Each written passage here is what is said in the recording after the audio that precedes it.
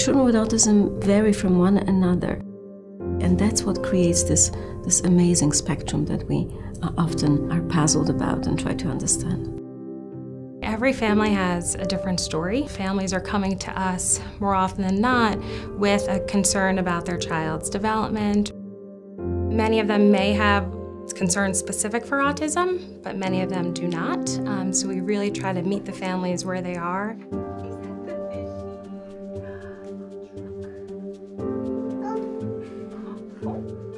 One of the big breakthroughs in the past uh, several years has been uh, the fact that now we can diagnose autism very early. We can diagnose autism already in the second year of life. The concerns that parents are raising at 18 or 24 months are actually skills that we would expect a child to have by their first birthday. At this point, we don't have a biological marker for autism, so we cannot run a blood test or a brain screen. So, in order to uh, diagnose a child, we need to conduct a behavioral assessment. A toddler who's presenting in our research program or our clinic, it's almost like being in an environment where you're exposed to almost like a different language and you don't understand what's happening, but you also don't necessarily understand the social norms that are happening. One of the defining features of autism in toddlers is that they have difficulties uh, monitoring faces of interactive partners. They don't look at people who try to engage them using eye contact or speech. Learning tends to happen most by children observing what other people are doing. So if a child's not necessarily paying attention to someone's face or what they're doing, they're missing those opportunities to learn about the world.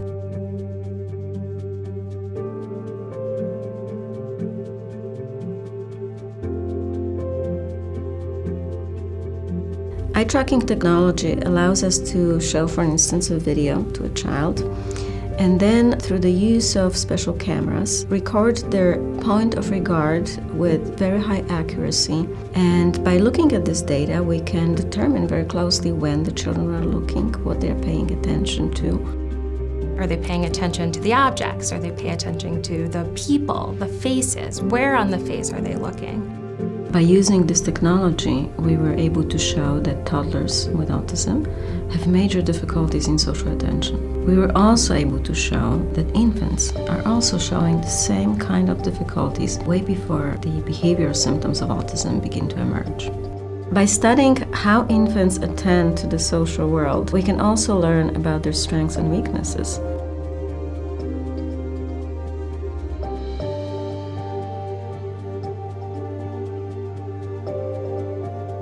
Early intervention is crucial, early identification is crucial. So we spend a lot of time with the families trying to figure out what would be best for their child to work on language and communication, social engagement, daily living skills. So more often than not, we're recommending a team of professionals come together to work with the child and family.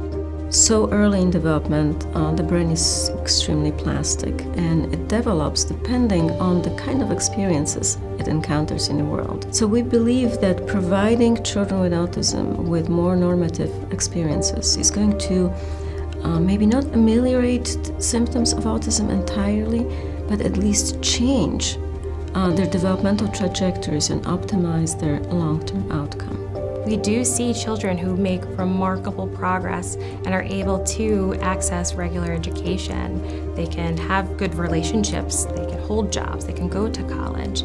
So the outcomes of our um, young children with autism who have had the experience of early intervention has been kind of mind-blowing in a way about how much progress can be made. If we give this child capacity to communicate, using any means, using gestures, eye contact, pictures, or words, the whole new world opens up to this child.